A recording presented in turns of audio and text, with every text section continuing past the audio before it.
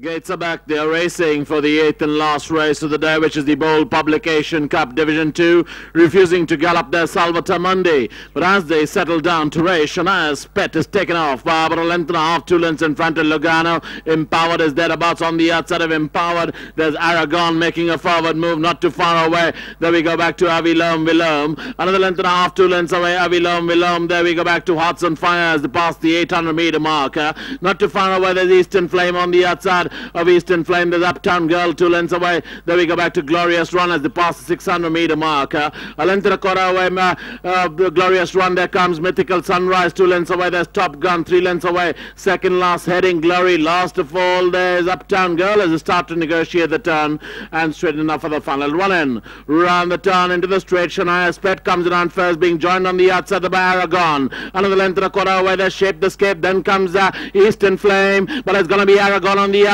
comes and takes it up from Shania's pet. Shape the Scape is on the outside. And uh, Aldero is warming up in the center. It's going to be Aragon from Aldero flying on the outside. Aragon from Aldero. Aragon from Aldero. Aldero gets it from Aragon. Then came uh, Glorious Run. Then came uh, Eastern Flame. And we'll wait for the official numbers.